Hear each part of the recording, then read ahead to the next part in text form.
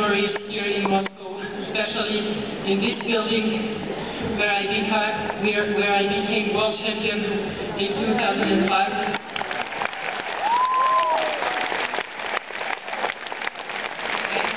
it's a great pleasure to be part of this event tonight, again in this building five years later.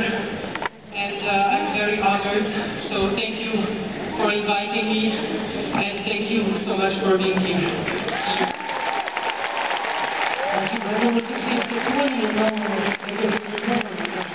не